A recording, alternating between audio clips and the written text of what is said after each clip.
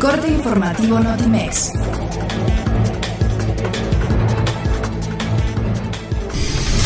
El presidente Enrique Peña Nieto señaló que la violencia por motivos electorales es inaceptable y el gobierno de la República seguirá trabajando con las entidades federativas y las autoridades electorales para brindar condiciones de paz y seguridad en el actual proceso. El secretario de Economía, Ildefonso Guajardo Villarreal, destacó que existe una probabilidad de cerrar la negociación del Tratado de Libre Comercio de América del Norte antes de la elección del 40%, si Estados Unidos comprende que se requiere de equilibrios y flexibilidad. El valor de las exportaciones de mercancías en abril de 2018 fue de 37.181 millones de dólares, lo que representó un aumento anual de 17%, informó el Instituto Nacional de Estadística y Geografía.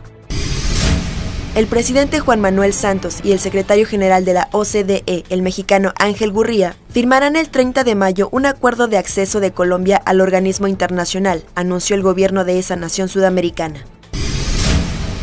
El delantero egipcio Mohamed Salah aseguró que jugar la final de la Liga de Campeones de Europa con el Liverpool es un sueño hecho realidad, ya que es una competencia diferente a todas las demás que existen en el fútbol profesional.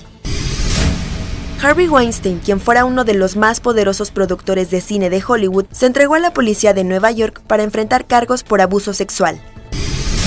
Con más de 200 artistas, entre creativos, creadores, cantantes, músicos y bailarines, la Compañía Nacional de Ópera ofrecerá el estreno mundial de El Juego de los Insectos, con música de Federico Ibarra en el Palacio de Bellas Artes del 3 al 12 de junio. Notimex, Comunicación Global.